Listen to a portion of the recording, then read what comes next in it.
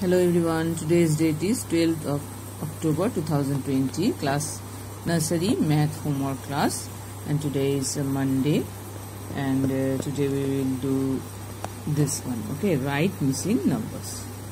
Here are some numbers you can see but some are missing, okay, some numbers are there and some numbers are missing, you have to write the missing numbers.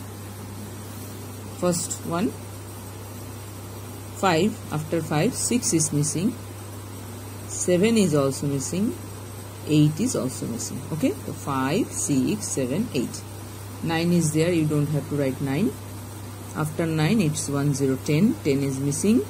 After 10 1 1 11 is missing. After 11 1 to 12 is also missing. You have to write this. Okay? So learn 5 6 7 8 9 10 11 12 okay you have to do it like this. Number b 8 after 8 it's 9 9 is missing. Here is 10 you don't have to write 10 now 1 1 11 is also missing. 1 to 12 is there. 1 3 13 is also missing. Okay? So 8 9 10 11 12 13 next one is c. 1 0 10 1 1 11 1 to 12 is missing. You have to write 1 to 12 now 1 3 13 is also missing. You have to write 1 3 13. 14 is here.